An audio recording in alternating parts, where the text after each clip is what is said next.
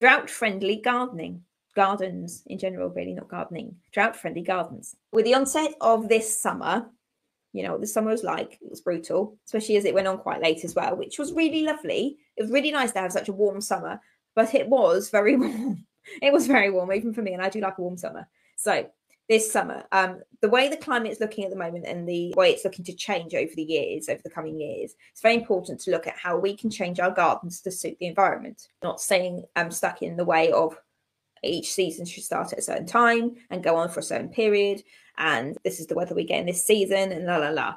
We need to be more flexible and be more fluid with it and see what's coming and then understand how we can change. So this summer proved a point that it's that it the climate is changing. No matter what way you dress it up, it is changing and it's going to change because that's nature. That's the way of the world, unfortunately.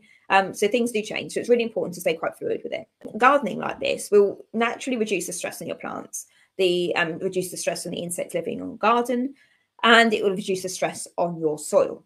So managing the water stored in the soil, um, it can help to manage how much water your plants need to take up as well. So it's really good to be quite fluid and understand how the environment is changing and the weather is changing to plant your garden up accordingly, effectively, or grow your garden accordingly, or manage your garden accordingly. Any of the above. So, this trend of growing drought friendly plants or plants that can tolerate drought much better than they can tolerate overwatering. Not so much the desert plants, if you're thinking about like Mediterranean plants, um, silvery leaves, quite fine, like lavenders and rosemaries, that kind of thing. But they will come into this category as well. You can get some really nice green, lush looking plants that um, tolerate drought just fine. So sedums, geraniums, and pelargoniums, osteospermums, they're really good, and these can all tolerate drought while looking very bright and green and cheerful. If you've seen an osteospermum, you can see the array of colours that they can come in. You can have some a really bright and cheerful garden that can tolerate like no water for weeks, absolutely fine. Geraniums are very um, so pelargoniums are very um, can be very bright colours as well, really good flowers on them, and um, they would tolerate bone dry environments quite happily. So these just these so three or four plants that I mentioned there can really bring some colour to your garden without needing any kind of watering or anything. Really, they're very tolerant of drought, and they will tolerate drought much better than they can tolerate being overwatered. So they really don't like being overwatered. So you get a really good colour with these as well. You can also include lavender as well, and you can include rosemary. And we know that rosemary creates a really nice small blue flower, which looks lovely, can create a really nice shrub.